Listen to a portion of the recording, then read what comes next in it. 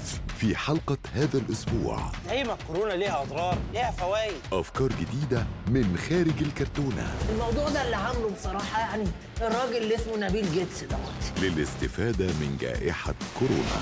دي مؤامرة عشان يزرعوا شريحة في مخنا. أهلا جيت في وقتك بالظبط. ولقاء قصري حصري مع النجم ماجد المصري. أكتر حاجة ندمان عليها يعني. اللي جيت لك النهارده. سعفان في التلفزيون.